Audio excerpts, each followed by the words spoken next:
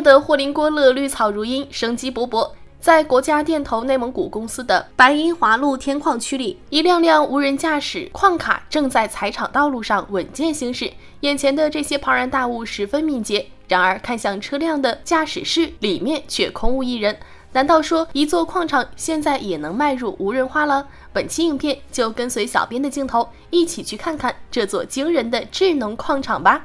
大家好，欢迎来到星球热点。国家大事从不缺席，舆论场中抽丝剥茧，聚焦独家中国资讯。点赞、订阅加小铃铛，带你用不一样的视角读懂中国故事。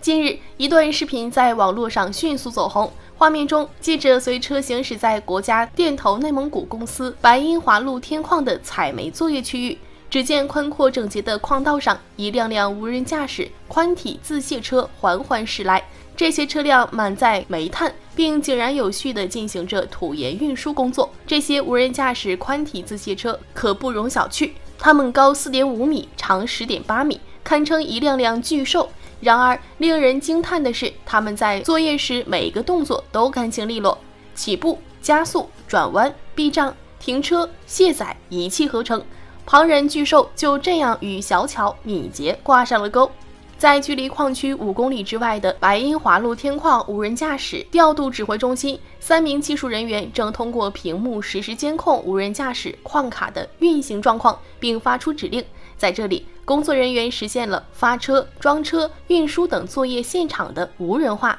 从画面中可以看到，无人驾驶的远程操控舱酷似电玩城里的赛车模拟器。在操作舱的大屏上，生产现场的无人矿用卡车运行状态以阵列式分布，操作员能直观地看到车辆的行驶数据、作业任务、行车路线、故障告警等实时信息，还能观察到普通驾驶室内部分视野盲区内的情况。这样一来，当无人驾驶系统出现故障时，工作人员就能快速精准接管操作车辆，从而减少应急接管时间，提升无人驾驶效率。白银华路天矿机电副矿长孙忠飞介绍道：“如今矿区应用了无人驾驶技术，曾经那些复杂的运输卸车程序，在调度指挥中心，工作人员只需轻轻敲几下电脑键盘就能轻松搞定。现场除了几名负责运维的工作人员之外，基本上无需人工介入，这大大降低了人力成本，也极大的减少了安全隐患。作为对比，在过去。”无人驾驶技术尚未运用的时候，白银华路天矿的运营总被诸多棘手的难题困扰。那时，矿场作业条件深受气候因素影响，矿区环境复杂多变，工人的作业强度大且危险性高。同时，矿卡司机的用工成本也一直居高不下，矿区运营安全亟待提升。有在矿区工作了大半辈子的老员工回忆说。每年一到冬天，作业环境就变得十分艰苦，卡车也常常出现机械性故障，这就导致整体工作效率不高。正因如此，很多露天煤矿都迫切需要一场智能化、无人化的升级改造，只有这样，才能推动煤矿向安全、高效、智能化开采加速转型，创建本质安全型矿场。目前，白银华路天矿已实现二十五台六十五吨级宽体运输车全天候无人驾驶稳定运行和有人无人混编作业，平均效率达到了同期有人驾驶效率的百分之九十二以上。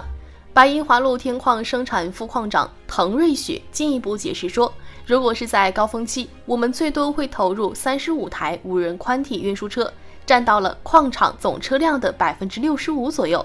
减少了宽体运输车司机一百一十人，真正实现了露天煤矿少人则安，无人则安的目标。一位现场工作人员也自豪地说：“有了无人驾驶矿车，工人们再也不用长时间驾驶倒夜班了，不仅有效降低了疲劳驾驶和误操作的风险，也大大节省了劳动力，矿山运输也更加安全了。”据悉，为了让卡车更好地适应矿场工作环境，研发人员还对这批卡车的智能系统进行了多次迭代升级。最初的无人驾驶1.0版，每辆车并非是智能的，需要系统告知路径、行驶时间和停车时间。在这种情况下，车辆的运行速度和效率都相对较低。而如今，这些车辆已经能实现智能的车协同的云，也就是说，每辆卡车都能够自主决策、相互交互协同。矿场工程项目管理部主任朱洪成解释说：“曾经我们都称无人驾驶为聪明的云，傻瓜的车，因为云端对车辆操作的影响太大了。云端一旦出现问题，车辆基本就处于停滞状态，这就与我们提高矿山安全水平和生产效率的目标背道而驰。为了进一步提高无人驾驶状态下的生产效率，摆脱对云端技术的高度依赖。”该矿搭载了业内首发的无人驾驶新能源线控平台“玉石平台”。玉石轻云端而重车端，弱化了网络对无人驾驶的制约影响，进一步支持大规模车辆的集群调度，可实现百台车以上大规模智能统筹调度，装卸实时动态均衡分配，让装载运输过程更加科学高效，提高运输效率。除此之外，为了保障车辆健康，矿场还为每台车都配备了设备健康监测系统，让车辆能做到自我故障分析。这一系统能够覆盖超百分之九十的各类故障问题，并能通过自行分析原因，实现自我修复调节。而对于类似机械类故障等超出调节能力的问题，设备也能够第一时间反馈给云端平台，从而进行人工介入，车辆真正做到了独立思考。据公开资料显示，作为中国首次在复杂结构煤层上线应用的露天矿宽体自卸车五 G 加无人驾驶项目，截至七月底，白银华露天矿无人驾驶编组运煤量已经累计突破了三百万吨，为中国提供了可复制、可推广的露天矿多煤层稳定运输作业的成功经验。据悉，国家电投内蒙古公司的探索还远不止无人驾驶，地煤销售无人值守。煤仓智能清理机器人、电铲远程控制、推土机远程操控、边坡重点区域雷达、电子围栏，一张由高科技机器人组成的大网正在覆盖内蒙古公司的两地五矿，一个崭新的安全、智能、绿色、高效矿山已然跃入眼前。如今，无人化浪潮来势汹汹，智能化已经成为不可阻挡的大势。小编深入查阅资料，也发现，在国家电投内蒙古公司旗下的众多产业领域中，不仅无人卡车得到了广泛应用，还有诸多智慧技术也已经在实践中落地生根。